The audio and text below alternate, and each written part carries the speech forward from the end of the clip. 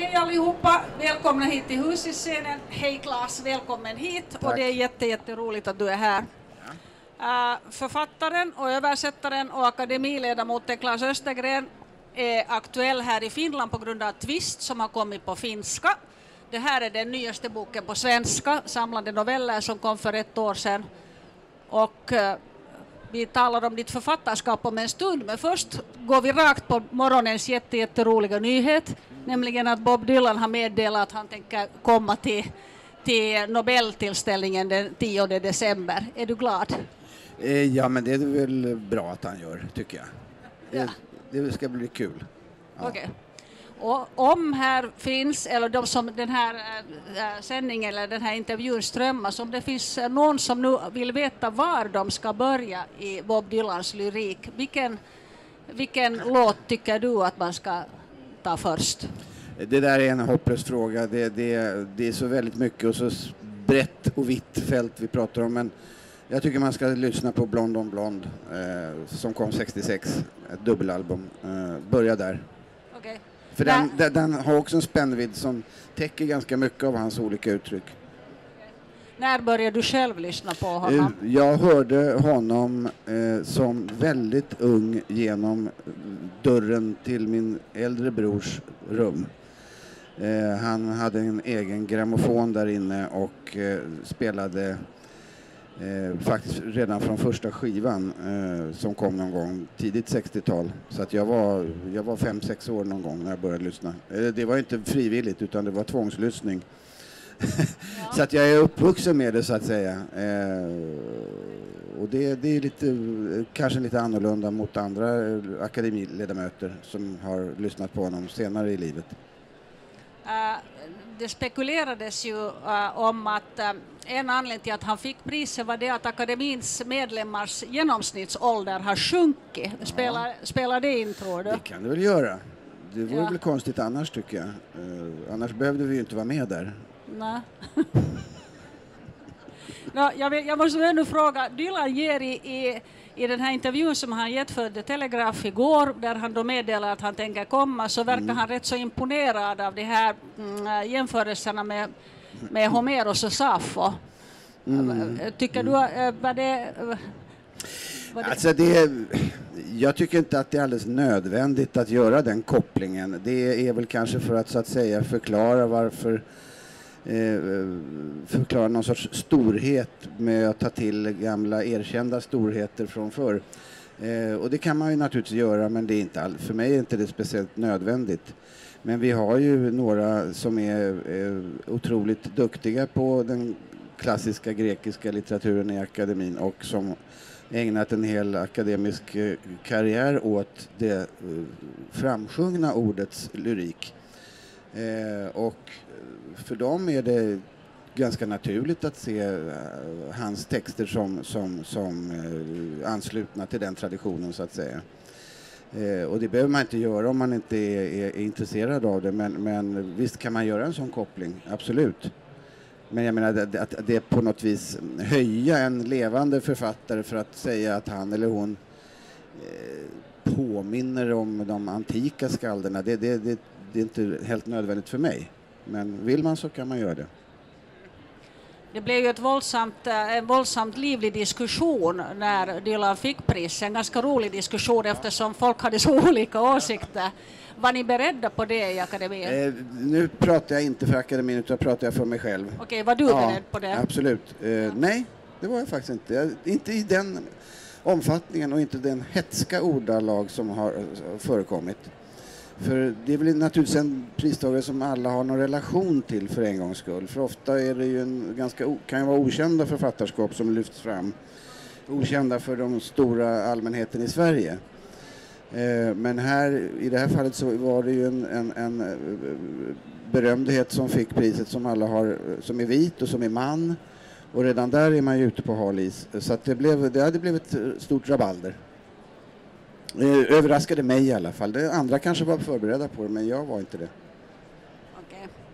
Hör du, ehm, om vi då återgår till huvudanledningen till att du är här, nämligen ditt författarskap, så lyssnade jag på ditt sommarprogram i somras och så sa du att när man skriver blir det inte som man har tänkt sig? Är det så att man börjar skriva någonting och så slutar det med att det blir något helt annat?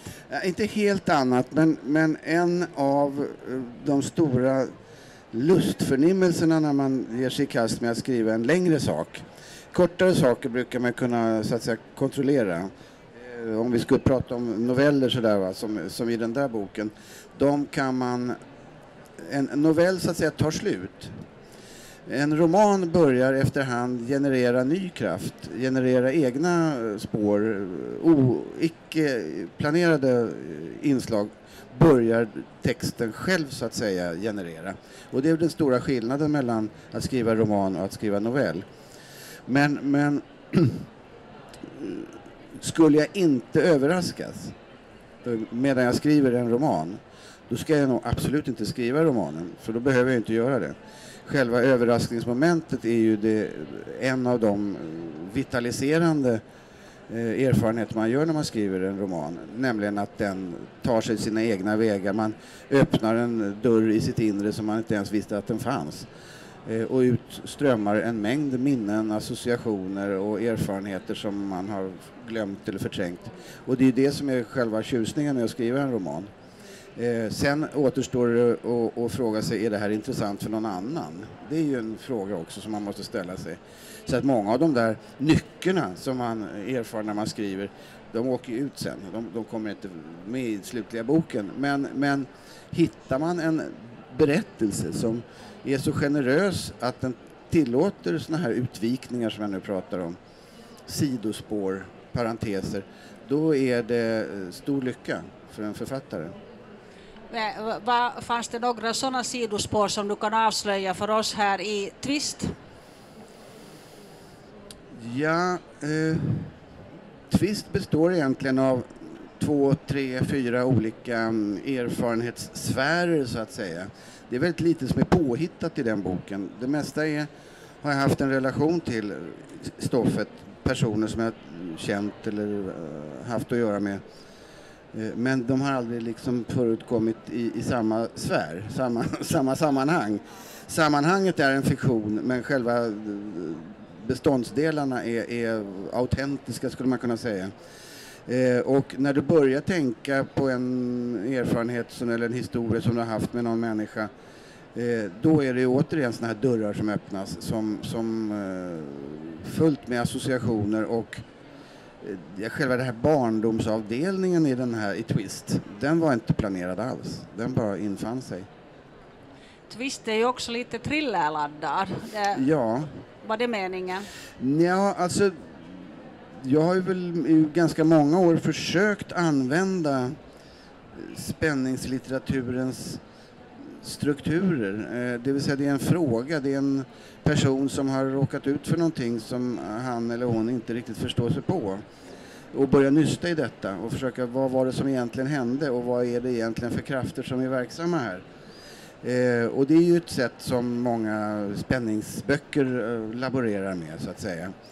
Eh, att, det, att det skulle vara en, en, en deckare, är, det vore jag jättelycklig om jag, jag kan inte skriva deckare. För det blir alldeles för komplicerat hela tiden. Men, men eh, eh som deckare är det ju en, en katastrof eftersom den, här finns ju ingen skyldig. Och det gör det ju aldrig i mina böcker. Det finns ju bara offer och gärningsmän i, i de berättelserna så att säga. I en deckare så måste det finnas en skurk, eller hur? Någon skyldig. Nå, det här med deckare för oss genast raskt över till ämnet John le Carré. Ja. För att du är, äh, denna höst är du då aktuell med översättningen till svenska av John le Carrés roman, äh, memoarer, inte romaner, memoarer som Ja. har kommit ut alldeles i dagarna. Ja, Eller hur? Och, Ja. Ja, och hurdan, äh, hurdana är hans memoarer? Ja, men- hurdan, hurdan är hela John le Carré? ja men alltså det, det är ju en vuxen person får man säga. En äldre herre som för pennan i den boken. Eh, och det märker man ganska snabbt. Eh, inte så att den är gaggig på något vis, men det är en eh, äldre mans sätt att se på världen. Eh, han har ju däremot sett väldigt mycket av världen. Så för oss andra som inte är fullt lika gamla men ändå kommit till åren så är det ju väldigt roligt. Jag tyckte det var ren njutning att hålla på med den. Eh, för att det här är, är, det är som en eh, 1900-talshistoria skulle man kunna säga, av en man som har träffat många av 1900-talets eh, eh, eh, mer framburna personer. Va? Eh, sen skriver han ju en engelska som är eh, fantastisk.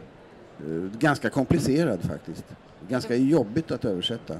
Ja, det var det jag tänkte också. Att hur, hur länge fick du slita med, med Nej, memoarerna? jag hade väl något halvår på mig, men jag satt nog inte ett helt halvår. Jag satt några månader. Men jag faktiskt, det är den första jobb jag har gjort till havs, i luften, på marken, på olika kontinenter. Så det var det för mig som var det roliga. Jag har faktiskt suttit i Finland och översatt några sidor. Aha. här, vad gjorde du här då? Ja, men då var vi på besök på Litteratursällskapet i vintras. Ja, just det. Ja. Mm. Ja, ja, ni brukar vara där. Men Ja. hör du, när du säger att, att, eh, att du har gjort det i luften, så att eh, du, du är ju känd för att inte vilja flyga. Har du Ja. ändrat åsikt? Ja, men när fan blir gammal blir han religiös som det heter. Eh, Jag har börjat flyga. Har det någonting att göra med att det är lättare att ta sig till Stockholm från Skåne varje Nej, torsdag? nej, nej, men det, det är meningslöst. Så, sån självplågare är jag inte, utan det ska vara meningsfullt. Som till Helsingfors, då är det meningsfullt att flyga. Ja. Nå, ännu en fråga om Carré. Fick du träffa honom under det Nej, här arbetet? nej. Nej. Han är, och det har jag all respekt för, och det tycker jag om honom för. Han avskyr såna här saker som du och jag håller på med nu. Eh, och eh, det får man ju respektera, eller hur? Han har några ganska roliga, eh, ett minne när han var på, på en bokmässa, jag tror att det var i Frankfurt, eh, där han sitter på rummet och eh, eh, eh, eh, blir uppringd av en journalist som eh, eh, vem, vad fan hette den tyska regissören? Jo, Lang. Eh, han blir uppringd av en, en, en person som säger ja, det, jag är sekreterare och journalist men sekreterare framförallt åt Fritz Lang som vill träffa dig. Eh, och då tänker Jan Luckare Fritz Lang, det måste ju finnas tusentals Fritz Lang i Tyskland. Det kan ju inte vara Fritz Lang eh, som gjorde Der Mörderer och andra eh, klassiker. Så att, ja, vad ska jag träffa den här Fritz Lang för? Ja, han vill träffa dig och, och, och, Eh, och prata om ett projekt. Ja, han är så sur och trött och så han klär på sig och åker ner i lobbyn och där sitter Fritz Lang, the Fritz Lang. Eh, det blir naturligtvis aldrig någon film, men eh, han eh, tar en kopp te till, tillsammans med Fritz Lang. Och det är ju en ära som är som att träffa Gud ungefär. Eh, och så märker han att sekreteraren som hjälper tar hans hand varje gång han ska ställa ner koppen när han dricker te.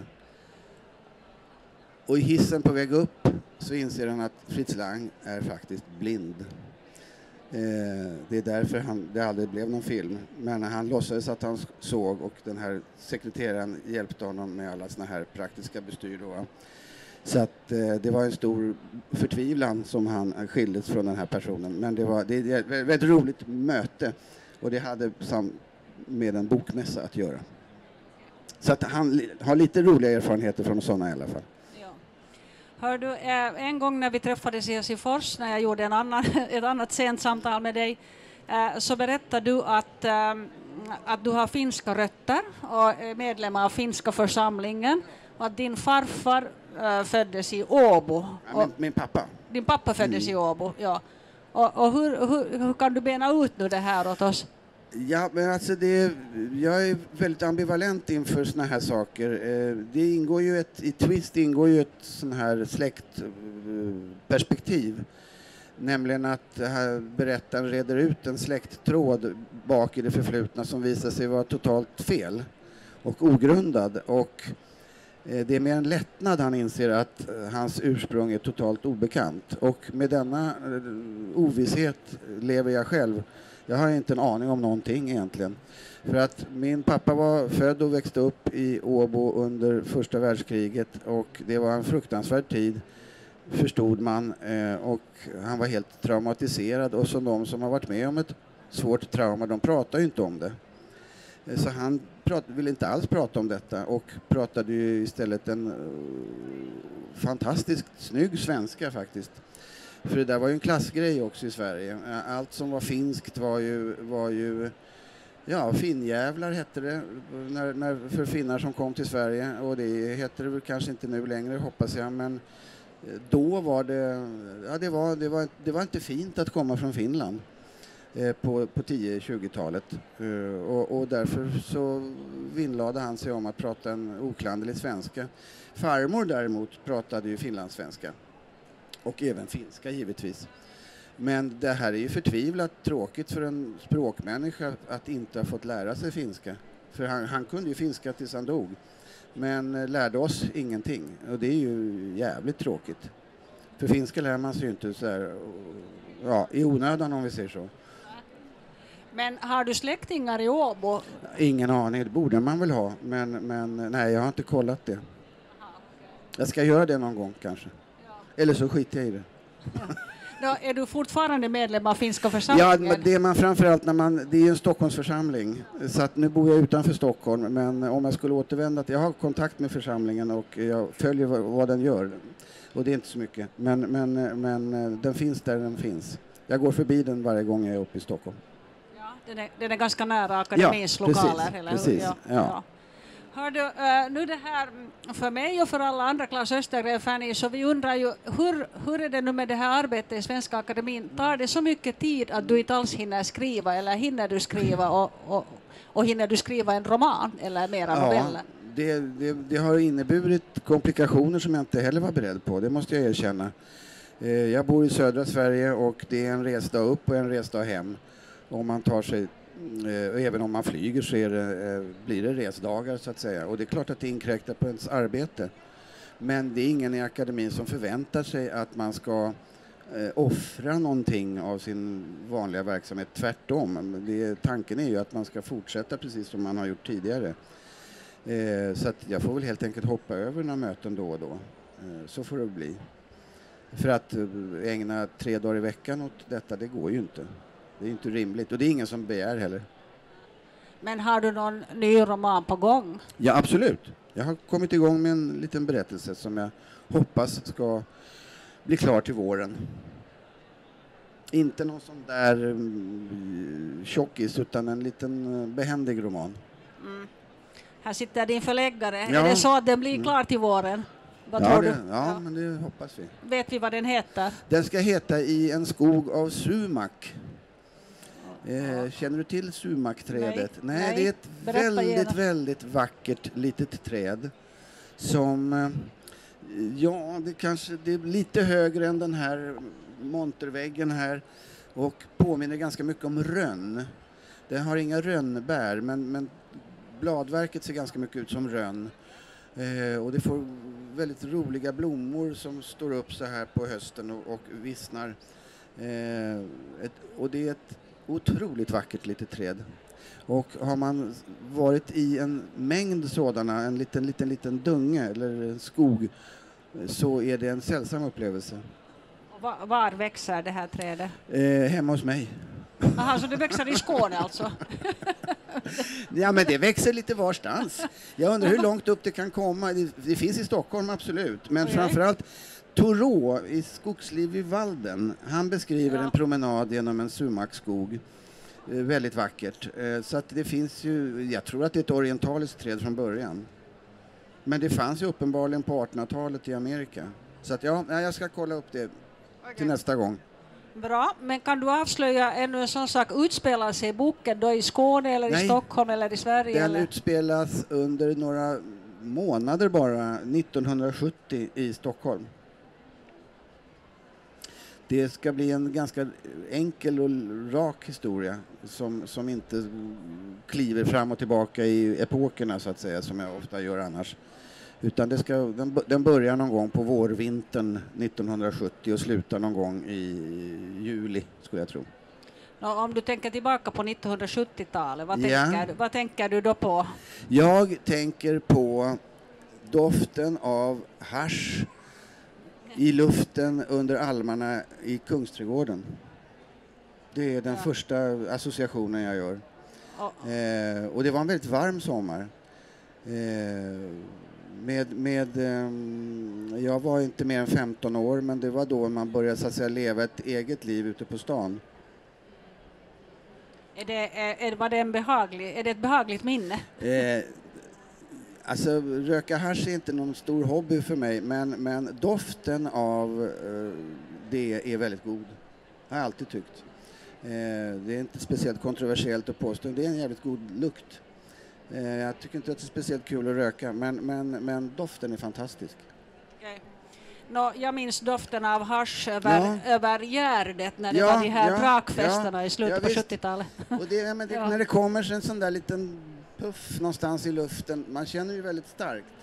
Det är väldigt stark förnimmelse. Eh, och, och, och så tittar man vem det är som håller på. Eh, och så ser man det och sen så är det inget mer med det. Ja. Just så är det. Bra. Hördu, nu önskar vi dig lycka till med, med romanen Ja, och så behövs. hoppas vi att vi ser dig här nästa år igen och den är på finska Ja, men då. det, jo, men då tar vi allt på finska. Ska jag köra en intensiv kurs på finska?